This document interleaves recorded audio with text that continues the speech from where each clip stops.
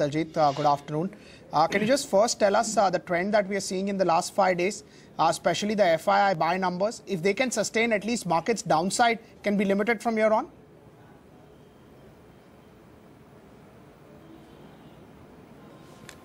Good afternoon, Pankaj.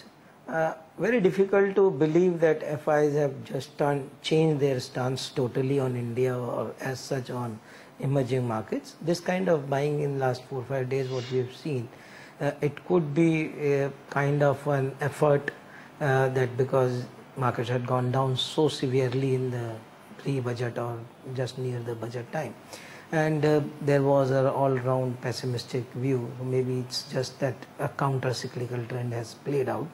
I don't think that the overall view is going to change so fast because there is no change in the overall pattern or, or fundamentals of the economy. Uh, whatever has been done in budget, uh, that has no, not going that's not going to impact at all in the next quarter numbers in next one year numbers. If anything that will happen is only going to happen in next two years. Now just on the basis that fiscal discipline has been maintained on one particular factor you cannot probably just change the entire stance so i guess it is a counter cyclical rally. One should assume that uh, one should expect that uh, it will stop somewhere. Uh, maybe next um, day or two we should see a, a bit of tapering off going on. Uh, other important factor to uh, remember is that overall this uh, all the markets if you see in the last five days you will see that even Brazil has outperformed moved by 10% all I think it's a simultaneous move of 8 to 10% on all markets now that is more to do with the preemption that uh, Euro region when the ECB will meet in this week, they'll probably do some stimulus. They'll again go for a stimulus package for European region. Now if it, that doesn't happen, then again we'll have a big disappointment and we could see a sharp fall. So I think it's just that uh, tactic of uh, big players playing, trying to uh, preempt a move from the regulator like we had in our case on the budget day. I heard many very big people saying we'll be surprised if we don't get a rate cut in 24 hours in 48 hours. Now we know what how many hours have passed in so i think uh, that kind of attitude is building in amongst big mm, players that they want to preempt uh, action from the regulator or they want to force by way of showing their action in the markets that regulator is forced to do something I hope that regulators don't give in to such tactics, but that is what is happening probably. Right. Uh, let's talk about some names. You used to like ONGC earlier. Uh, you know, and we've, we've seen a lot of regulatory changes over there. So cess came in at 2,800, which never was reduced when, uh, sorry, 4,800, uh, 4,500 when uh, it never got reduced. Now in this budget, it's proposed to 20%.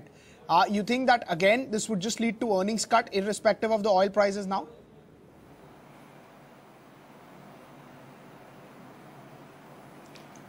Uh, market behavior is very funny. I don't understand. They want to preempt that uh, ONGC, the first at the time of 4500 says everybody was saying that we should go ad valorem because it makes no sense that uh, the cess that you fix at $110 that should continue at $30 also. Now they have done it at $20. Now we are talking that this means that ONGC's uh, upside is capped only up to $45. After that, what happens? Then again, ONGC will start losing. Now, if I'm seeing that at $30, if we see that there is a visibility of $45, then there is no reason for ONGC stock to go down. And if at after $45, it is only going to still pay 20% excise duty uh, assess, which is like an excise duty. So it, it makes, uh, then it is not paying anything abnormally high. The realization is going up, you are paying a, a percentage of that, which is also a reasonable uh, number. So it's not something which is out of the blue. Now I don't understand the market reaction just because that you have to play negative on the stock, then you continue playing. So I am for the one is holding a contrarian view that uh, ONGC is uh, a good bet at even at these levels because uh, the realization will go up, then obviously the company will be beneficiary. Just to remind our viewers and understand that the net realization in last three quarters have also gone up. Despite the fact that gross realization has gone down by 60, 70%, 100%. Now this means that the benefit to the company is intact because the burden of subsidy is no, no more there. Second thing is even at 30 to 35 dollars, ONGC has not made any loss at operational level, which again means that we are protected at the lower level. If the if your view is that 45 dollars will come or 60 dollars will come, then obviously you this is the best time to buy this stock. So I think uh, ONGC qualifies for a, a portfolio pick at any at these prices. There is no reason unless you have that pre-set notion that you don't have to buy a PSU or you don't know what will happen after $50 government will come in and start putting subsidy and all that those kind of things if you mm, are able to negotiate then I think ONGC is a good buy. Right. Uh, what should be the downside according to you uh, in ONGC on the worst case basis?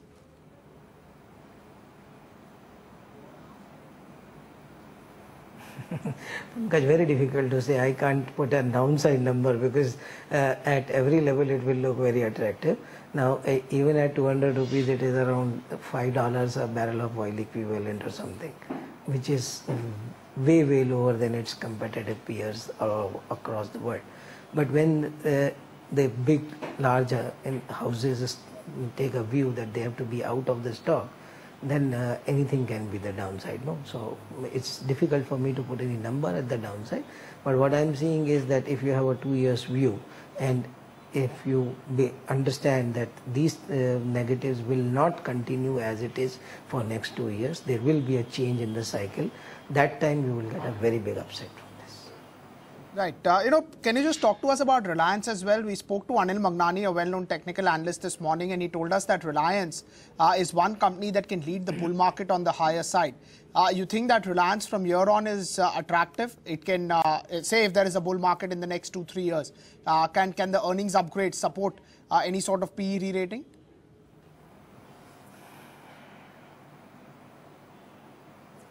Definitely. For a long time, if you remember, we've been talking about Reliance as our top pick um, amongst the top picks uh, for the year 2016 also, 2015 also it was a top pick. So just to remind that even in 2015 when the overall market didn't give too much of returns, Reliance was actually an outperformer despite being the, such a heavyweight. Uh, so in 16, again, why we are saying that it is going to be an outperformer?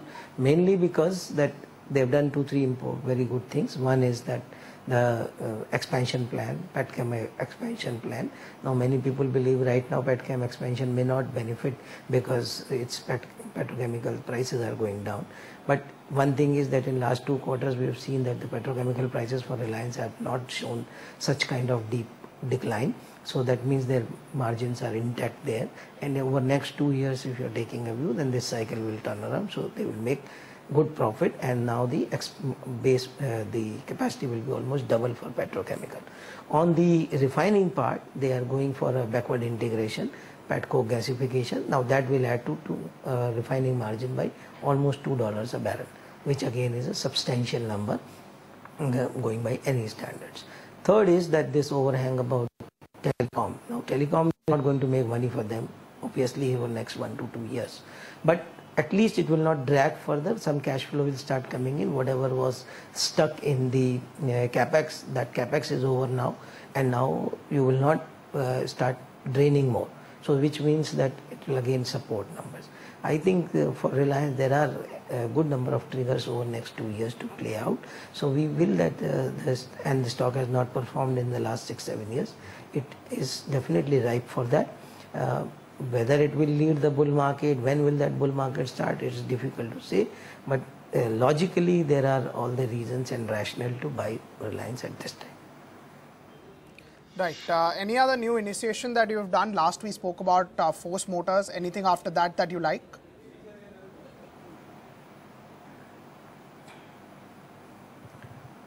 No, Pankaj, we have not added any new stock in our list, mainly because uh, the valuations we've seen that in most of the mid caps uh, corrections have happened.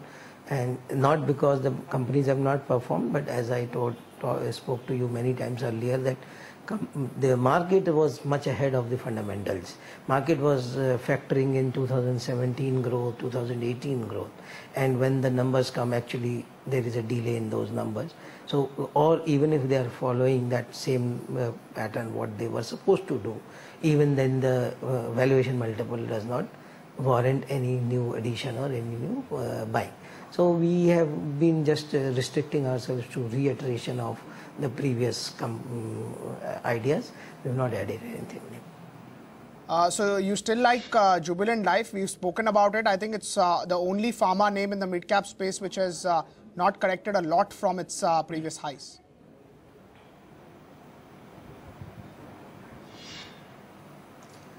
Yes, we continue to like Jubilant Life Science mainly because there is a in their half of the business is in the turnaround stage and half of the business is stable.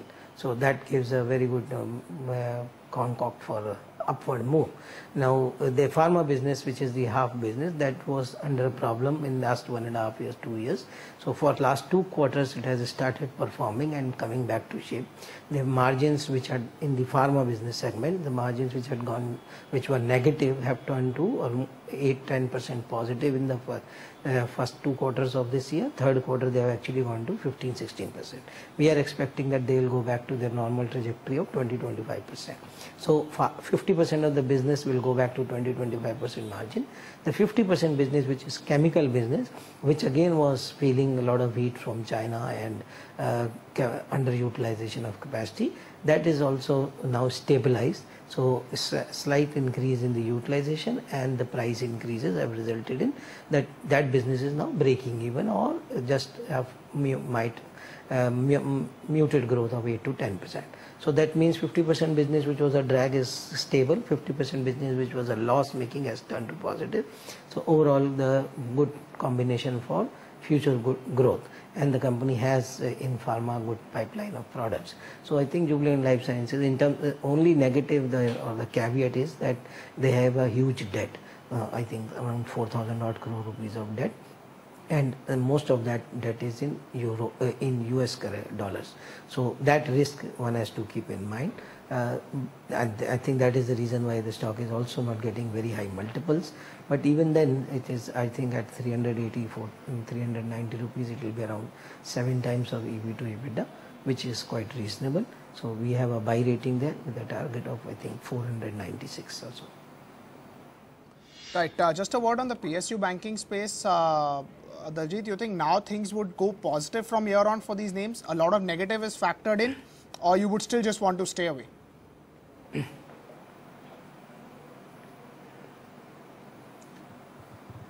See, better would be that one should stay away. One should not expect too many things to happen on the number side. Sentiment wise, yes, I think most of the negatives have been captured. So, uh, whatever could go wrong has already been taken care of and has come out. Uh, probably it may not be too bad from here onwards in terms of news flow. But in terms of numbers, the return ratios to come back, the return on equity, return on asset, that will take time.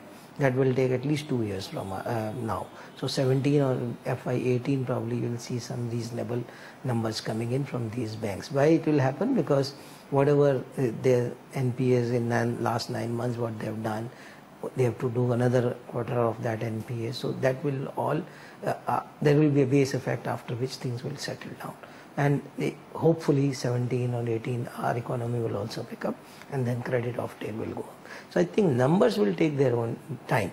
Uh, sentiment wise probably things have uh, taken care of. So from here onwards it will be now delta can be big even at this time. Why? Because once the sentiment is down then what happens is that you the same stock which you wanted to give a price to book multiple of one and a half or two times suddenly you start giving it less than 1 or suddenly you start going down to 0.5. That 0.5 can become 1, 0.5 can become 1.5. So that kind of multiple can happen. But uh, I think it won't happen so fast also because numbers will take their own time. So there will be a lot of volatility in stock prices of PSU banks. Uh, if for a um, conservative investor, I think the better would be he should away, stay away from it. Better things would be to look for NBFCs and housing finance companies, insurance companies, those LIC housing, DHFL, those kind of companies, Max India, Max Financial, which is now. So those kind of companies we should look at. But for an aggressive player, probably yes, banks he can look at. Uh, but I would still suggest it should be much smaller portion of your total portfolio.